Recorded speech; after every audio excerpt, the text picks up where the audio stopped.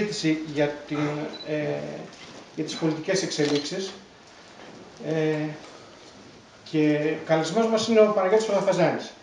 Γνωστός φαντάζομαι σε όλους, είναι ε, κοινοβουλευτικός εκπρόσωπος του ΣΥΡΙΖΑ και τον ευχαριστούμε πολύ που δέχεται την πρόσκληση της, ε, της προσωρινής γραμματείας της οργάνωσης της ΝΑΟΣΕΣ. Ε, θα πει κάποια πράγματα και ο γραμματέας της οργάνωσης ο Κώστας ο Καραγιάννης και μετά το λόγο έχει ο σύντροφος ο Παναγιώτης Πρωταφαζάνης. Ευχαριστώ.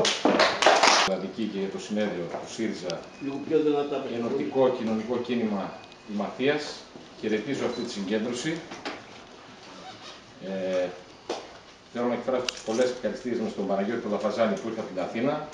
Νομίζω ότι με την πείρα του, την εμπειρία του και τη δύναμη της αριστερής του σκέψης θα φωτίσει πολύ καλύτερα διάφορες πλευρές της σημερινής πολιτικής και κοινωνικής πραγματικότητας και θα ενισχύσει τη θέλησή μας να παρέμβουμε και να καθορίσουμε τις εξελίξεις, τις πολιτικές και τις κοινωνικές από εδώ και πέρα.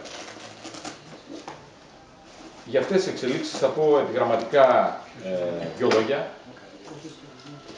Μέσα σε μια περίοδο βαθιάς κρίσης, βαθιάς κρίσης του συστήματος του καπιταλισμού, οι προσπάθειες οι διαρκείς είναι να περάσει μια νεοφιλελεύθερη, ακραία νεοφιλελεύθερη πολιτική που οδηγούν σε αδιέξοδο και με τεράστιο κοινωνικό κόστος το ζούμε καθημερινά, είναι βιωμά μας και έχουμε μια βιωματική σχέση με αυτό το τελευταίο που ανέφερε. Η κατάσταση πρέπει να αλλάξει. Η ασκούμενη πολιτική πρέπει να ανατραπεί. Τι χρειαζόμαστε, ποια εργαλεία χρειαζόμαστε. Ένα εργαλείο είναι ο φορέας, είναι το κόμμα, που να μπορεί να ανταποκριθεί στις απαιτήσεις της περίοδου, στις νέες συνθήκες. Και ένα δεύτερο είναι η ανάπτυξη ενός αντίστοιχου κινήματος. Ενός αντίστοιχου κινήματος στο λαό μας. Θέλουμε λοιπόν ένα φορέα μαζικό για να καλύψει αυτή την ψαλίδα μεταξύ των, του 1.650.000 και άνω ψήφων που πήρε ο ΣΥΡΙΖΑ και των οργανωμένων μελών του, που είναι πολύ λιγότερα, με τις οργανωμένες δυνάμεις του δηλαδή, μέσα σε ένα μαζικό λοιπόν ε, κόμμα ένα λαϊκό πολιτικό σχήμα το οποίο θα είναι ανοιχτό και στο οποίο μέσα θα συνεπάρχουν τα... Η συνέλευσή σας στην Άουσα, μια από τις ομορφότερες πόλεις της χώρας μας, ένα πραγματικό στολίδι για την Ελλάδα. Έχω ξαναπεράσει την Άουσα και έχω μείνει και αρκετές μέρες εδώ. Θυσιών, μεγάλων θυσιών, πάρα πολύ μεγάλων θυσιών, προσφορά στη δημοκρατία. Αυτά όλα αποτυπώνονται στις μνήμες όλου του ελληνικού λαού. Τουλάχιστον εκείνου του, του μέρους του ελληνικού λαού που καταλαβαίνει σήμερα ότι πρέπει να αλλάξουμε πορεία ως χώρα. Δεν μπορούμε να συνεχίσουμε να πορευόμαστε με τις πολιτικές και τις επιλογές που ακολουθήθηκαν μέχρι τώρα, τουλάχιστον από τη μεταπολίτευση, ότι χρειάζεται μια ριζική αλλαγή η Ελλάδα, μια τομή, μια πολύ μεγάλη ανατροπή. Αυτό είναι το μήνυμα που φέρνει ο ΣΥΡΙΖΑ. Ο ΣΥΡΙΖΑ λέει ότι δεν μπορεί να βγούμε από αυτό το τούνελ συνεχίζοντας την πεπατημένη. Δεν μπορούμε να βγούμε συνεχίζοντας τις παλιές πολιτικές που ακολούθησαν Νέα Δημοκρατία και Πασόκ και συνεχίζουν να τις ακολουθούν.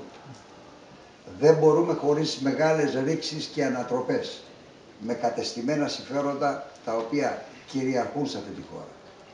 Δεν μπορούμε να βγούμε από την κρίση αν δεν ανατρέψουμε τις νεοφιλελεύθερες πολιτικές και αν δεν αφισβητήσουμε σε τελευταία ανάλυση και τις ίδιες τις βαθύτερες εσωτερες λογικές του καπιταλισμού. Αυτό είναι το δικό μας απλό μήνυμα. Απλό, αληθινό, ανυποχώρητο, ασυμβίβαστο. Δεν είμαστε μία δύναμη περαστική.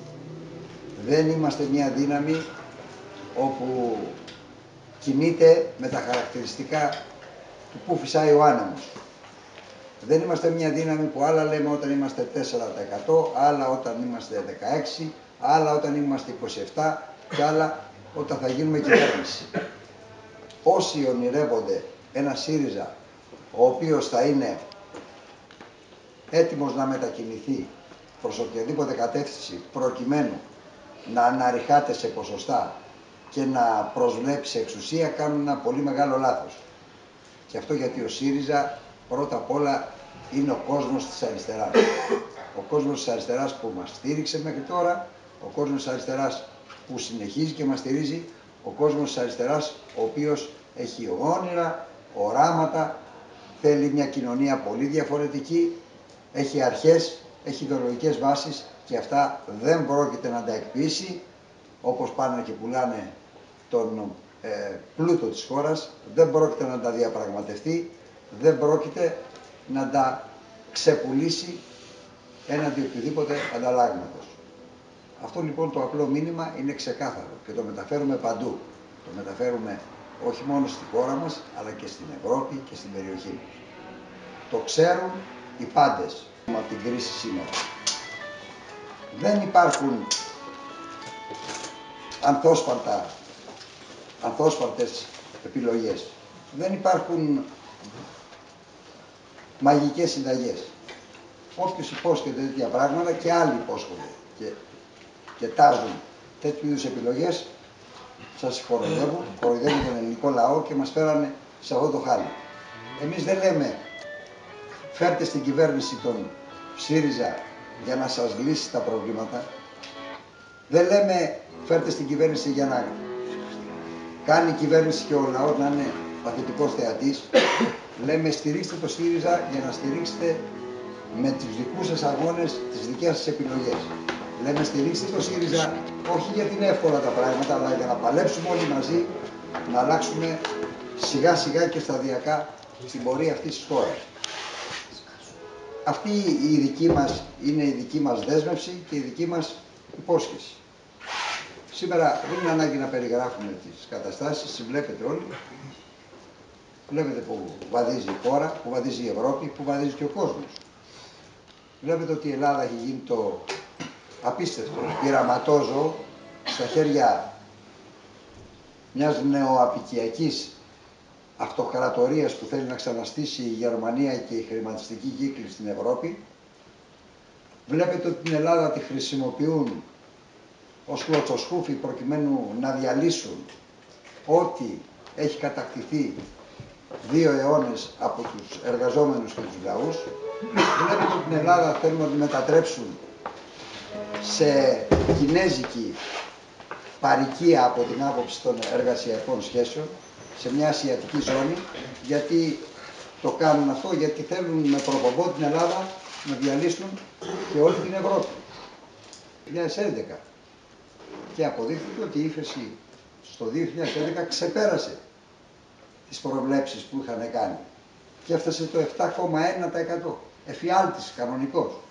Σε ένα χρόνο το 7% του πλούτου δηλαδή που παράγει μια χώρα χάνεται. Το 2012 προβλέπουν ύφεση με τα επίσημα δεδομένα άλλο ένα 7 και πλέον τα 100. Δεν ξέρουμε πώς θα φτάσει βεβαίως.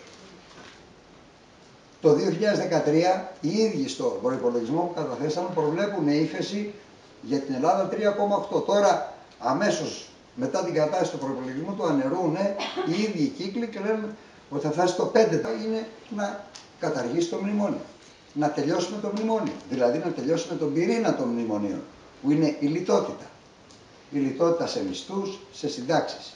Η διάλυση των εργασιακών σχέσεων, η διάλυση τελικά όλων των κοινωνικών δυνάμεων αυτής της χώρας σε όφελος μόνο των τραπεζιτών και των πολυεθνικών εταιριών και μιας μικρής μερίδας μεγάλου κεφαλαίου. Αυτό γίνεται σήμερα. Το μνημόνιο αυτό πρέπει να τελειώσει. Δεν είναι δυνατόν να συνεχίζουμε τις μνημονιακές πολιτικές. Το μνημόνιο δεν, μπορεί, δεν μπορεί να μας πάει ούτε βήμα μπροστά. Και το βλέπουν τώρα πλέον όλοι. Δεν μπορεί να λένε δεν υπάρχει άλλη συνταγή πλην της λιτότητας. Όταν η λιτότητα φέρνει νέα λιτότητα περισσότερα ελλείμματα και περισσότερο. Το μνημόνιο πρέπει να τελειώνουμε ανεξάρτητα αν κάποιοι νομίζουν ότι μπορούν να μας εκβιάσουν για να μείνουμε στη μνημονιακή πολιτική με τις δόσεις. Οι δόσεις αυτές δεν είναι δυνατόν να δίδονται και να λαμβάνονται με αντίτιμο το μνημόνιο, δηλαδή το δρόμο προς τον κρεμό. Εμείς δεν εκβιαζόμαστε και τους λέμε καθαρά ότι το μνημόνιο θα το καταργήσουμε και δεν πρόκειται να υπαναχωρήσουμε, να αναδιπλωθούμε στο όνομα του ότι θα μας κόψετε τις δόσεις. Αν κόψετε τις δόσεις θα ακολουθήσουμε κι εμείς την επιλογή αναγκαστικά της τάσης πληρωμών στο χρέος με ό,τι αυτό συνεπάγεται για την περαιτέρω πορεία της χώρας μας. Δεν πρόκειται να οπισθοχωρήσουμε, δεν πρόκειται να κάνουμε πίσω σε αυτήν την επιλογή. Δεν πρόκειται είτε στο όνομα των, της δόσης, είτε στο όνομα του ευρώ, η Ελλάδα και ο ελληνικός λαός να συνεχίσει αυτή, αυτό το μνημονιακό κύρος και ανεξαρτησία. Θα δώσει την ευκαιρία στον ελληνικό λαό να δουλέψει ξανά για τον εαυτό του. Αν συνοδευτεί βεβαίως με μια σειρά προοδευτικές αλλαγές. θα περάσουμε κάποιες δυσκολίες, αλλά αυτές τις δυσκολίες θα τις περάσει η χώρα γιατί ξέρει ότι θα υπάρχει φως στην άκρη και ταυτόχρονα θα ξέρει ότι ο πολίτης, ο εργαζόμενος δουλεύει για την πατρίδα του και όχι για ξένα συμφέροντα. Και όχι για μια Ελλάδα νεοαπικία, όχι για μια Ελλάδα προτεκτοράτο και μπανανία. Όχι μια Ελλάδα η οποία στο τέλος δεν θα έχει απολύτως τίποτα ως υπόσταση. Δεν θα έχει καθόλου παραγωγικό ιστό, γιατί εκεί οδηγούμεθα και βεβαίως δεν θα διαθέτει καμία πλουτοπαραγωγική πηγή. Θα είναι ένα έθνος ιστορικό το οποίο θα γίνει άθροιγμα στα χέρια μιας νεοαπικιοποίησης της ίδιας τάσης πληρωμών, δηλαδή μη αποπληρωμή του χρέους, με ό,τι, αυτή, ό,τι αυτές οι επιλογές θα ακολουθήσει, με ό,τι θα ακολουθήσει αυτές τις επιλογές και παράλληλα με αυτές η εκδίκηση της διαγραφής του μεγαλύτερου μέρους του χρέους. Διότι το χρέος αυτό δεν είναι πλέον βιώσιμο για την Ελλάδα. Δεν είναι μόνο ένα άδικο χρέος, ένα χρέος ταξικό, δηλαδή με την έννοια ότι προήλθε ως χρέος μιας πλουτοκρατίας αυτή τη χώρα, η οποία το διαμόρφωσε ερήμην του ελληνικού λαού και όχι για να εξυπηρετήσει γνήσιες αναπτυξιακές και κοινωνικές ανάγκες, αλλά για να εξυπηρετήσει ιδιωτική της συμφέροντα. Πράγμα που δεν το λέμε τώρα, το λέγαμε επί χρόνια, άσχετο αν η φωνή μας δεν ακουγόταν. Και ο οποίος βλέπει σήμερα την κατάσταση. Βλέπει τις εξελίξεις, βλέπει ότι δεν έχουμε μέλλον με αυτές τις πολιτικές. Και τον καλούμε να κάνει ένα βήμα προς την αριστερά. Όχι η αριστερά να πάει προς το κέντρο, αλλά οι ίδιοι αυτοί οι άνθρωποι μέσα από τις εμπειρίες τους να αντιληφθούν ότι δεν είναι δυνατόν με τις πολιτικές που ακολούθησε μέχρι τώρα το Πασό και η Νέα Δημοκρατία να φύγουμε από την κρίση, αλλά χρειάζονται άλλες πολιτικές. Και αυτές οι άλλες πολιτικές είναι αριστερές πολιτικές. Δεν είναι να αναπαράγουμε τις πολιτικές που ασκούν με άλλο τρόπο, με άλλο πρόσημο που άσκησαν Πασό και Νέα Δημοκρατία, δεν θα πάμε πουθενά έτσι. Αυτή είναι η κοροϊδία. Πρέπει να αλλάξουμε πορεία.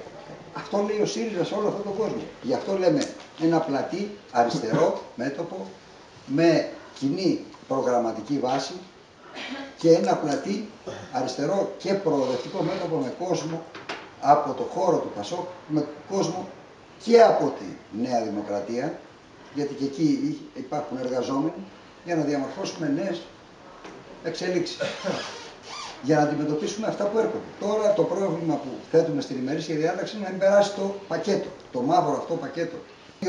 Το λέμε με σαφήνεια, δεν θα είναι κόμμα πελατειακών μηχανισμών, ρουσφετολογικών σχέσεων, ένα κόμμα διαμεσολαβήσεων και εξυπηρετήσεων, ένα κόμμα αναρρίχησης για την ομή της εξουσίας και τα λάφυρά της. Αυτά τα κάνανε άλλοι και είδαμε που κατάντησε η χώρα μας. Το κόμμα που θέλουμε εμείς θα είναι κόμμα αγωνιστό.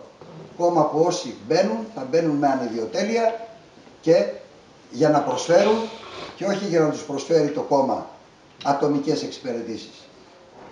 Θα είναι ένα κόμμα που θέλει να υπηρετήσει τη χώρα και τον ελληνικό λαό και όχι τα άτομά μας. Τις ιδιοτέλειες, τις οποιασδήποτε ιδιοτέλειες. Δεν θα είναι ένα κόμμα δηλαδή σαν τα άλλα, αλλά ένα κόμμα αριστερό ένα κόμμα με αρχές, ένα κόμμα με προσανατολισμό, με όραμα και προοπτική. Και ως τέτοιο θέλουμε να το αναπτύξουμε και να το οικοδομήσουμε σήμερα. Και το λέω αυτό διότι οι κίνδυνοι όπως ξέρετε και οροφυλακτούν για όλα τα κόμματα που προσδοκούν να είναι στην κυβέρνηση. Πολλοί κόσμος μπορεί να τα πλησιάζει αυτά τα κόμματα καιροσκοπικά. Και το ζούμε αυτό.